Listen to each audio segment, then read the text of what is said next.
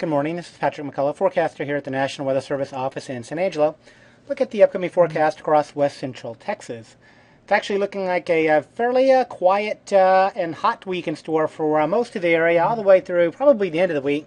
Some chance of rain uh, late in the uh, in the weekend coming up, but of course that's that's a long way away, so uh, we'll worry about that one later. For today, a few low clouds this morning, and they'll burn off pretty quickly, and lots of sunshine for the afternoon. Temperature is pretty close to where they were yesterday in the low to mid 90s area wide. Again, tonight, uh, some clouds building up uh, after after midnight, but for uh, most sections, we're talking about uh, low temperatures right around the uh, 70 degree mark. A little bit warmer, maybe a degree or two warmer in uh, many areas for Tuesday and Wednesday, with high temperatures climbing up in the mid to even upper 90s in, in a few locations. Wouldn't be surprising by Wednesday or Thursday to see a few readings approach the 100 degree mark, but all in all, a, a hot and dry week uh, upcoming for the next uh, five to six days. Thank you, and uh, we'll continue to keep you updated.